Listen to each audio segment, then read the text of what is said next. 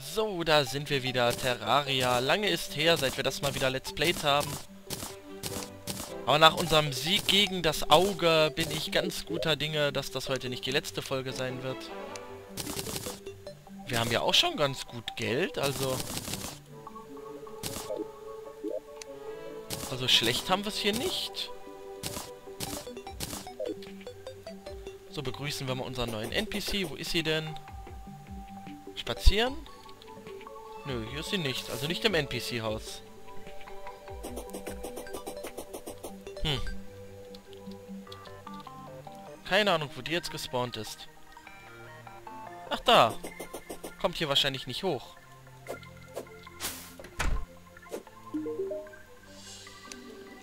Aha, die hat einen Shop. Ja, und hier gibt es jetzt halt jede Menge tolle Items. Grassamen.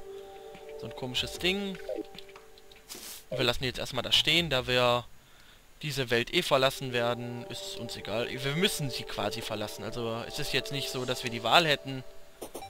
Gucken wir mal, dass wir hier noch so ein korruptes Gebiet in der Nähe. Ich glaube, das war hier vorne. Denn es gibt so viele neue Sachen dann, die nur in der neuen Welt spawnen. Und wir sind jetzt schon stark im Rückstand, also...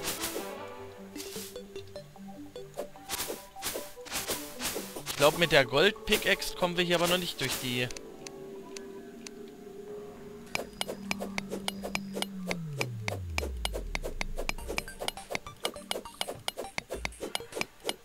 Nein, das sieht nicht so aus, als würden wir da durchkommen. Das heißt, wir brauchen auf jeden Fall eine bessere Pickaxe. Wo kriegen wir eine bessere Pickaxe her? Mal schauen, was gibt's denn da alles? Das nächste, was wir kriegen würden, wäre hier wohl Night Axe. Also dazu müssten wir den Wurm besiegen. Obwohl doch, den können wir auch beschwören. Stimmt. Dann bleiben wir doch ein bisschen hier in der Gegend und hauen hier so ein paar von den Viechern kaputt. Und nehmen hier so ein paar von den Pilzen mit.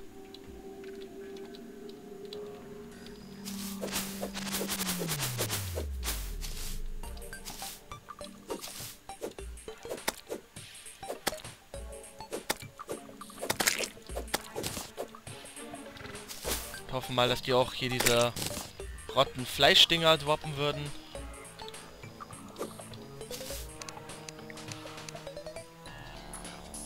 Oh ja, da kommen wir nie mehr raus. Ach, das komme ich hier schon nicht mehr.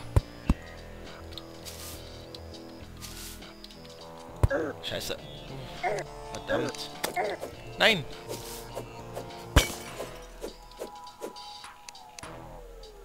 Ja, theoretisch könnten wir jetzt eigentlich so ein Ding da unten kaputt machen, aber da kommen wir ja nicht ran. Theoretisch können wir es auch mit dem Puder von der ollen Schnepfe machen. Das können wir uns einfach kaufen, dann können wir da durch. Stein kaputt machen und Wurm beschwören. Ich glaube, wir müssen drei kaputt machen. Na komm. So. Und so. Dann stellen wir hier mal eine Fackel dran.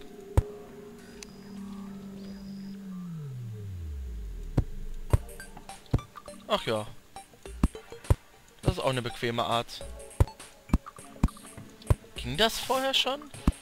Es ist mir jetzt neu irgendwie, dass das so geht.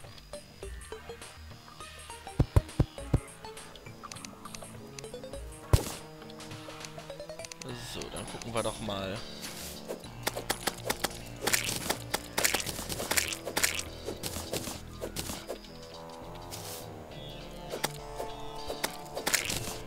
Überhaupt das verrottete Fleisch? Ja, ich glaube schon. Ich brauche das verrottete Fleisch und so ein Pilzpuder.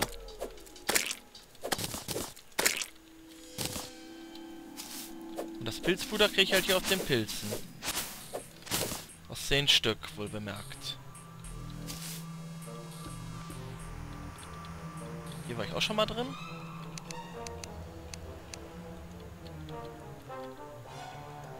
Würde einfach mal hier runter. Vielleicht finden wir ja was.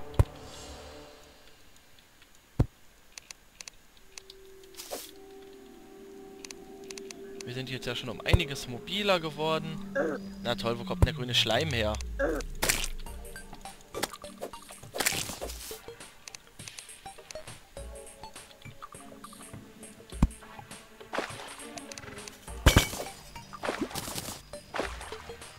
So, mehr kann ich jetzt hier auch momentan nicht machen. Hm. Ah, lala, jetzt müssen wir...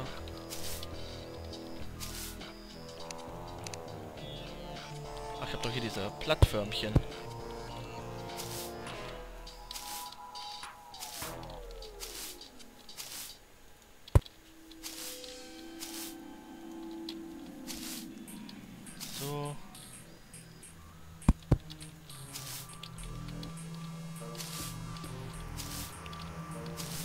Viel Sinn hat das jetzt nicht. Ich würde sagen, der hat es mehr Sinn, wenn wir erstmal unsere, unser Goldschwert vervollständigen. Oh, da komme ich jetzt nicht dran. Schade. Ja, zumindest wir haben so ein paar Pilze geerntet da.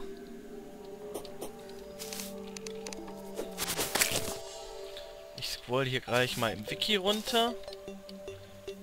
So, da steht es nämlich ganz unten drin.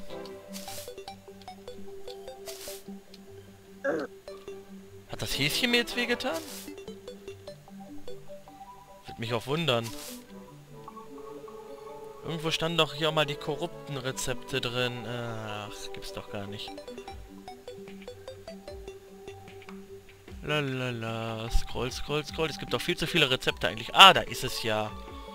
30 Giftbeutel und 15 von den Rottenfleisch. So. Haben wir davon irgendwas? Also die Giftbeutel kann ich mir jetzt theoretisch craften. Übrigens, wir müssten uns auch mal eine Workbench bauen. Die ist neu.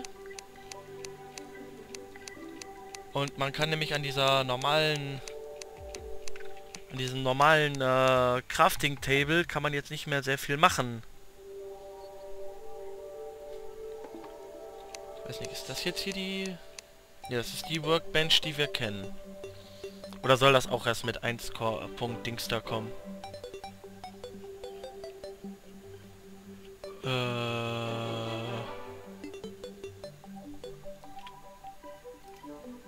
Workbench, das ist die, das ist die doch, die hier steht, oder? Ich bin verwirrt, also ich habe das gelesen, vielleicht kommt das auch erst mit 1 Punkt, bla bla. Naja, auf jeden Fall ich mal diese Giftbeutel. Die kann man nämlich aus den Pilzen machen. Und dazu bräuchte ich... Ach, da klicke ich jetzt einfach auf den Giftbeutel drauf, dann sehe ich es ja. Ein Pilz gleich fünf Giftbeutel.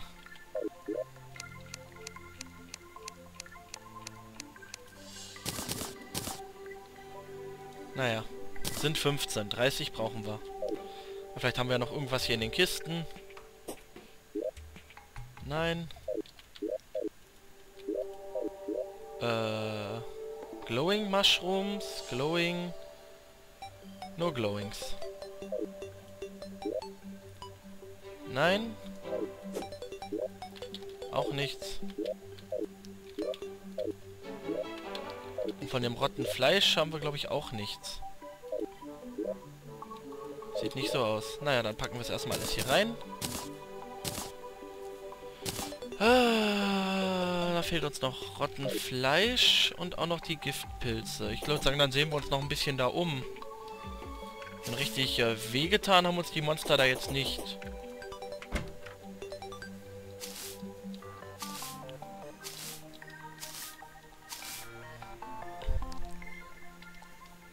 Dann bräuchten wir nur noch so ein äh, Dämonentable oder so ein Altar. Schon mal hier sind. Oh, das Ding ist schön flott.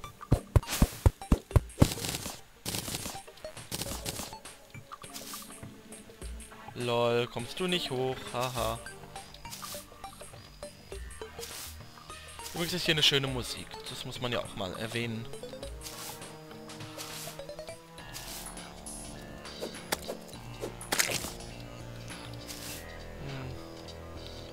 Stehen hier eigentlich Bäume? Die haben gar keine Bäume verdient.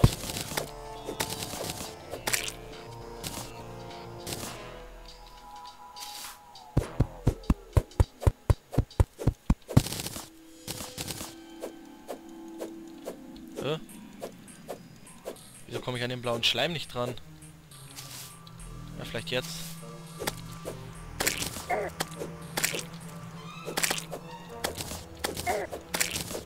Ah. Oh, jetzt kommt ein großer Wurm.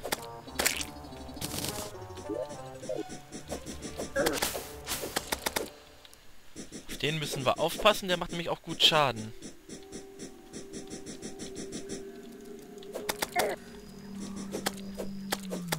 Da fällt mir ein, ich sollte meine Zeitübersicht nicht aus den Augen verlieren. So.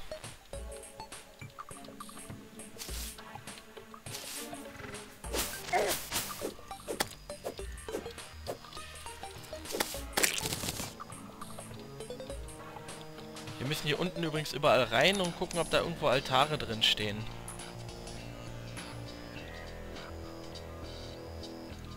Aber das machen wir dann erst, wenn wir die Zutaten haben.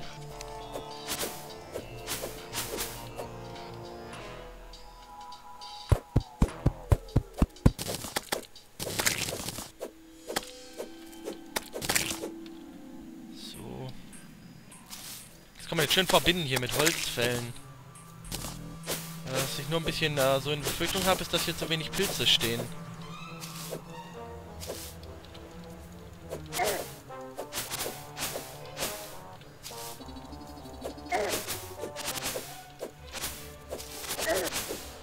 Ich tue mich auch irgendwie dauernd weh. Wow.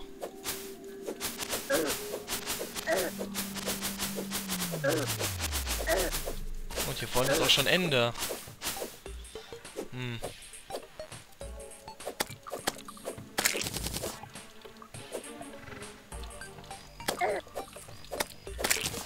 Naja, die Monster hier heilen noch recht gut. Da geht das schon.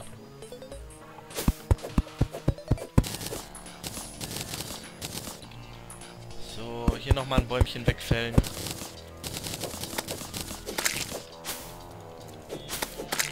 Gehen wir mal hier runter. Autsch. Naja. Viel zu sehen gibt's hier nicht gerade.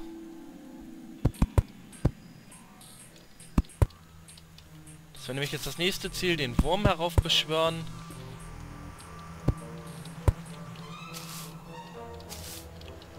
Um den auch mal richtig einen abzuballern. Um daraus dann halt die Scales dann zu kriegen.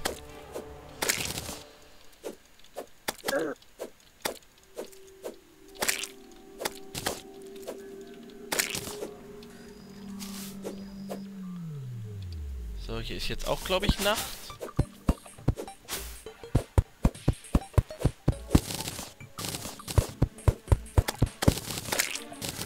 So.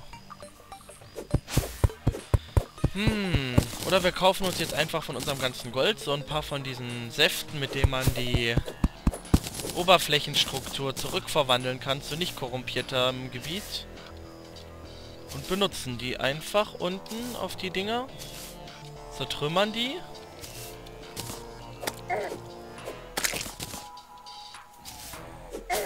Das wäre natürlich auch eine Möglichkeit. Meiner Meinung nach sogar eine etwas schnellere als diese hier. Aber zumindest haben wir so ein bisschen Monster geschlachtet. Schade, dass es hier nicht sowas wie Erfahrungspunkte gibt wie in Minecraft.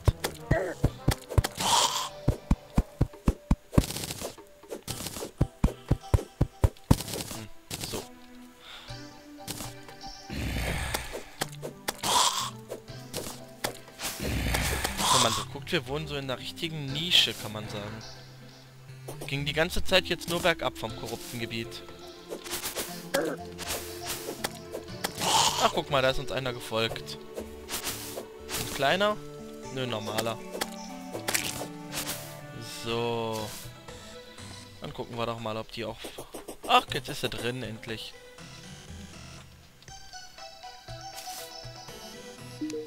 Wie teuer ist denn dieses...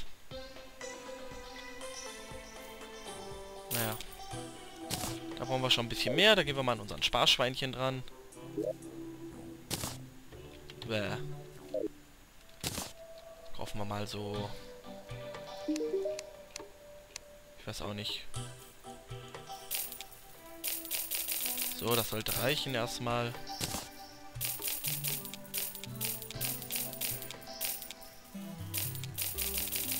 Naja, obwohl... So. Das reicht dann auf jeden Fall und das setzen wir dann in der nächsten Folge ein. So, und ich glaube, hier sind heute ein paar wirklich gute Folgen gelungen. Wenn wir jetzt noch den Wurm besiegen, das wäre natürlich der Oberhammer.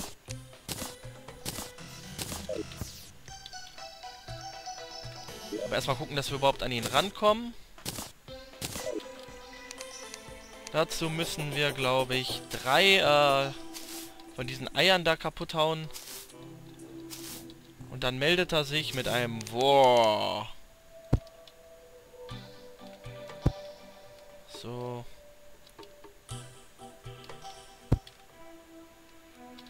Ich hoffe nur, dass unser Stein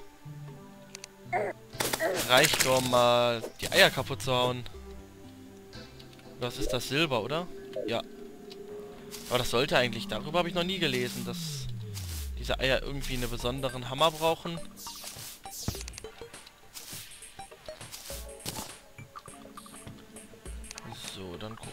Mal hier nach, würde ich sagen. Vorsicht, großer Wurm. Bah.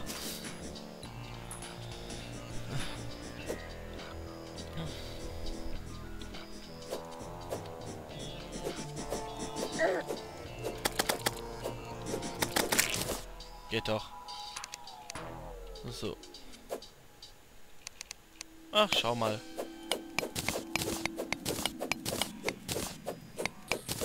Da brauchen wir, glaube ich, drei Stück, um hier dran zu kommen.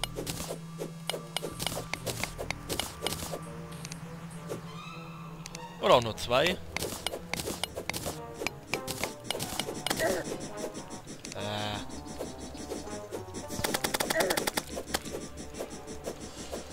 Lange leben kann er nicht mehr. Ah, da ist er schon tot.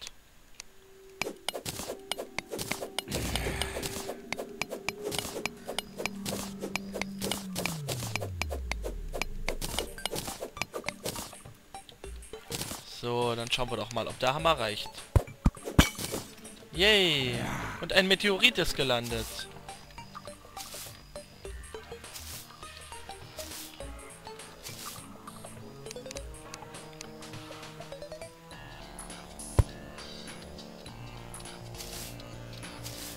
So, dann geht's mal weiter in die nächste Kammer.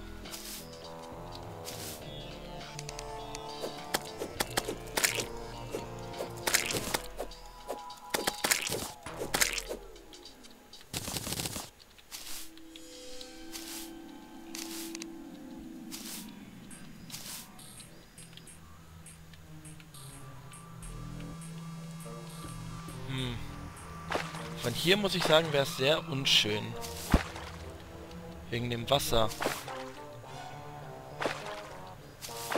Oh mein Gott.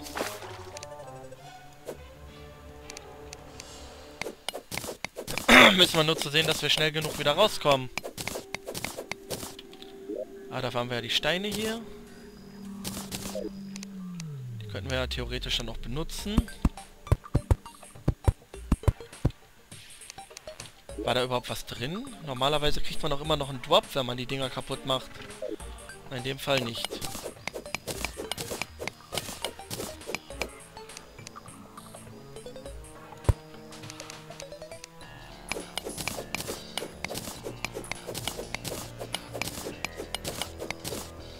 Das Schöne ist, wir müssen den Wurm nicht mal wirklich besiegen. Es reicht, wenn wir ihn leicht schädigen so dass schon ein paar seiner Körperteile abfallen. Da gibt es auch schon genug Loot.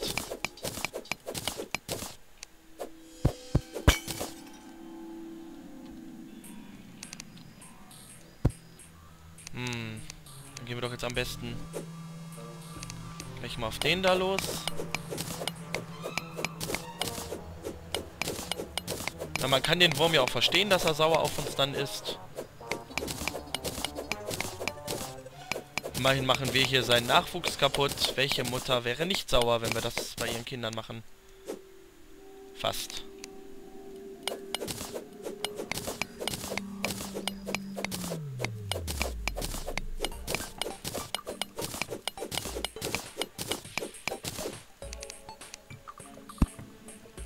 Eine gezielte Treppe zu bauen ist nicht gerade einfach hier in Terraria.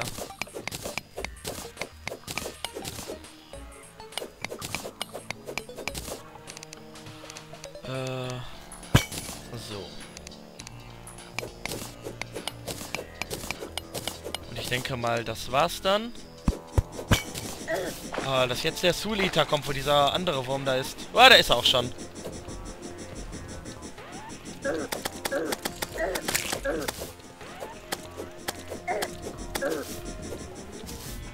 Macht leider recht viel Schaden. Besonders wenn man hier so...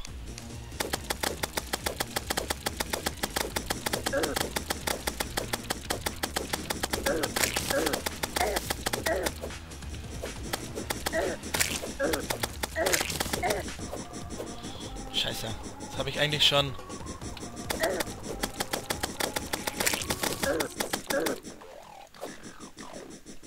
Aber wir haben ein bisschen was gedroppt.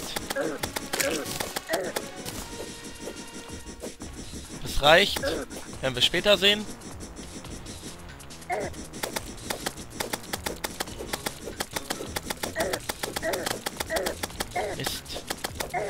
Ich jetzt auch bloß einen Trank zu mir nehmen könnte. Ah, das war's. Aber der bleibt, wenn wir Glück haben, sind wir schnell genug wieder da.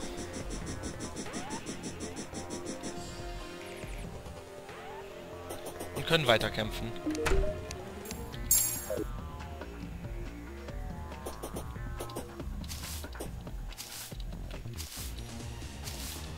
Da das Ganze auch recht nah war. Ah, ich glaube, das war's dann jetzt schon, oder?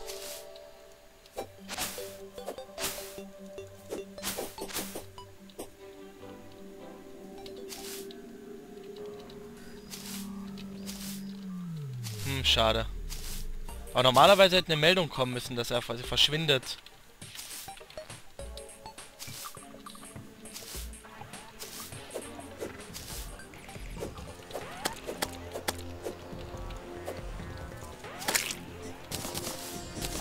Ah ja.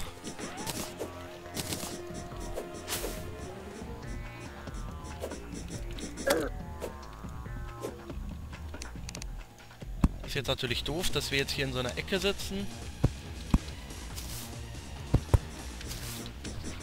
Kann man alles schon mal so ein bisschen vorschwächen hier.